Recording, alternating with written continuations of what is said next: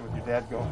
It was funny. He was like, "All right," like, and he was scrambling, trying to figure out when he was going to fly here and whatnot, and uh, he loved it. He was like, "You're a big leaguer kid," so it's it was awesome.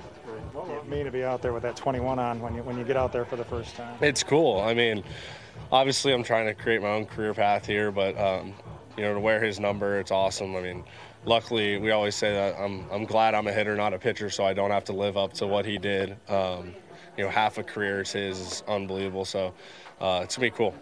AJ talked about the versatility needed for, for guys to get up here. How much does that change your mindset as you as you've, as you've approached the game to, to learn those different positions, to be open to, to those? Yeah, I mean, as soon as we got AJ, you know, a couple years back, we he took me into his office and just said, "Hey, like, do you play anywhere else?" And it was the first conversation I had in my career about you know playing other positions.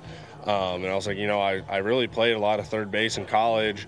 Um, I, I play third base. I'll play outfield wherever you want. Like I've never really you know, moved around at all my career. And he was like, you know, what, we're going to throw you in at first base, you know, in the spring training game, whatever year that was. And then, um, you know, the following two years, I've been just rotating around, playing the outfield, third, second, first. You know, it's it's good. I mean, I've felt comfortable in all the positions. Um, I mean, I've played a, a good amount of games in all the spots, so I feel comfortable